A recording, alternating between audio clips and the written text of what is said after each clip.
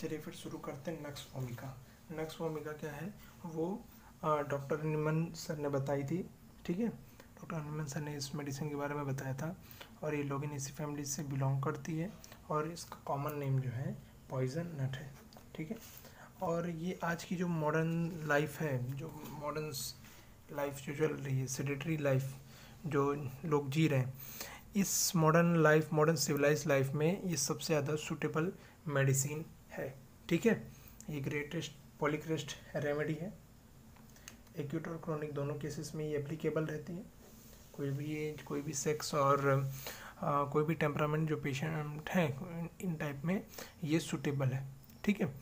और ये जो पर्सन होते हैं इनके पर्सन जो हमें देखने को मिले वो थिन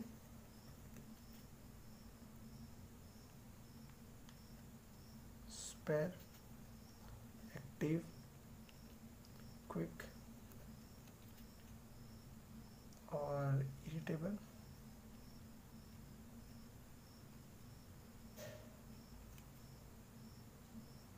नर्वस टेम्परामेंट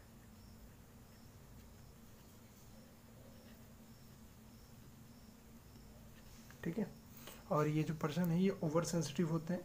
बहुत ज़्यादा सेंसिटिव होते हैं। किसी से noise light order touch music एक्सेट्राज ये सारी चीज़ों से ये काफ़ी ज़्यादा ओवर सेंसिटिव होते हैं। और अगर मैं बताऊँ ऑर्डर्स में फ्राइड थिंग्स जो होती हैं, उससे ज़्यादा ये सेंसिटिव रहते हैं, ठीक है? पेशेंट्स जो होते हैं इम्पेशेंट पेशेंट जो है, वो इम्पेशेंट होते हैं। इम्पेशेंस इनमें पेशेंस नहीं रहता एनजाइटी रहते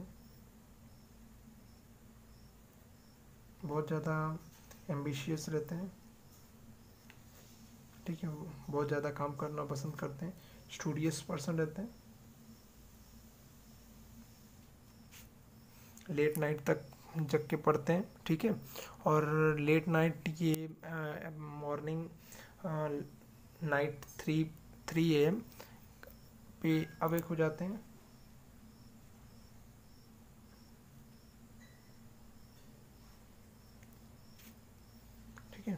और फिर लंबर ये पेन जो है इनका लंबर रीजन में ज़्यादा होता है।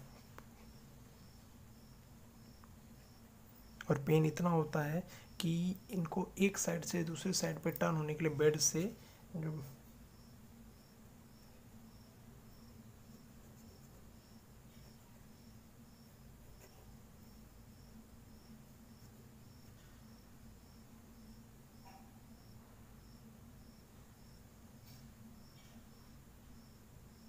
एक इस साइड से, इस साइड में टर्न होने के लिए भी इनको उठ के बैठना पड़ता है, तब ये इस साइड से उस साइड ये टर्न हो पाते हैं, ठीक है?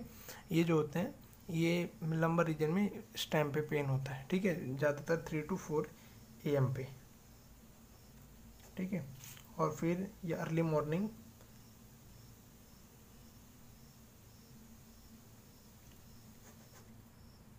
अर्ली मॉर्निंग में सोने जाते हैं। अप्रोक्स फाइव फाइव एम ठीक है? और फिर लेट अवेक होते हैं।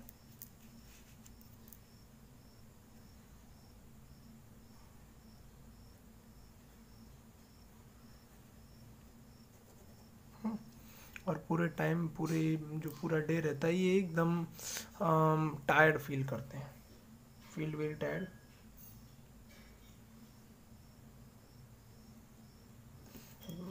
फिर बता दो कि ये सुसाइड का सुसाइड करने का सोचते हैं, बट मरने से डरते हैं, ठीक है?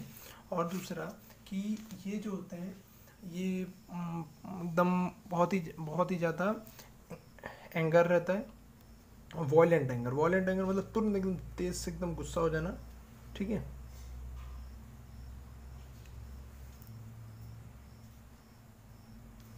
ये सारी चीज़ें हो गई, जो नॉर्मल जो चीज़ें हैं, जो हमें पता होनी चाहिए, ठीक है? और इसके बाद कि जो पेशेंट्स जो होते हैं, वो इनका अगर मैं बताऊँ पेन कैसा होता है? पेन अगर मैं बात करूँ पेन के बारे में पेन ये टिंगलिंग रहता है स्टिकिंग और मोशन से क्या होता है ये?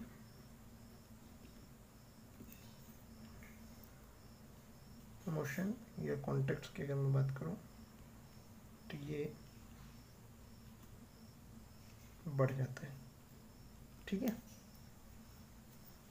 यहाँ तक क्लियर है सबको? अब मैं बात करूँ कि आ, जो होता है मॉर्निंग के टाइम में ये हमेशा ये सोचते हैं कि अगर मैं वॉमिट कर दूँ तब इनको काफ़ी ज़्यादा रिलीफ मिलेगा। ठीक है? वॉमिट अगर ये कर दें तो ये काफ़ी ज़्यादा इनको रिलीफ मिलेगा। और ये फ्रीक्वेंट स्टूल पास करने की टेंडेंसी रहती है।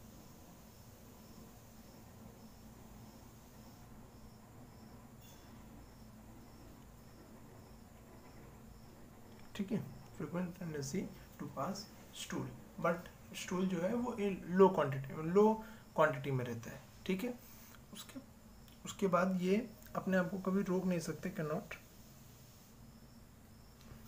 can't keep from sleeping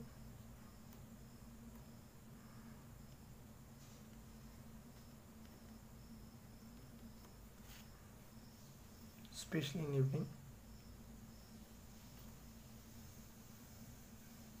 while reading book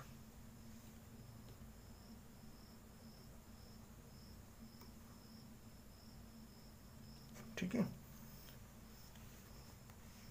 ये जो सारी चीज़ें हैं, ये मैंने बता दिया। जो नक्स ओमिका के खास और मेन फीचर्स जो हैं, जो हमें कभी भी नहीं भूलना चाहिए।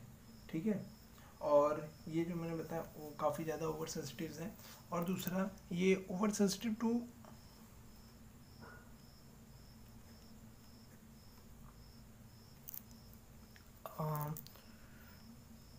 मेडिसिन से भी हैं।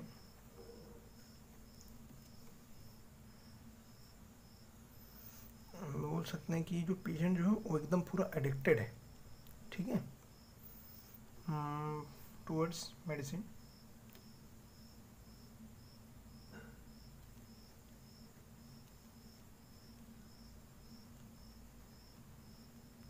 ठीक है? और ये आ, ये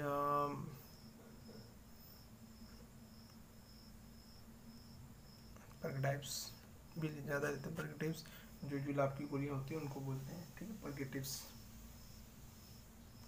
ठीक है? ये सारी चीज़ें हो गई और मैंने बता दिया कि एकदम इनको टर्न करने के लिए एक साइड से, दूसरे साइड इनको एक साइड से, दूसरे साइड टर्न होने के लिए क्या करना पड़ता है इनको? एक जगह पे बैठना पड़ता है, ठीक है? और दूसरी चीज़ कि इनका जो पेन है, ये किस चीज़ में एग्रावेट होता है, ठीक है? कब एग्रावेट होगा? मॉर्निंग में मैंने बताया, ठीक है?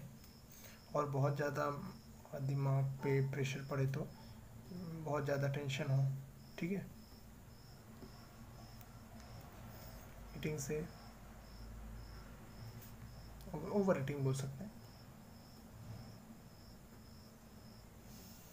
ठीक है, और मैंने बताया नॉइज़ है टच है सारी चीज़ें बताई टच नॉइज़ और ऑर्डर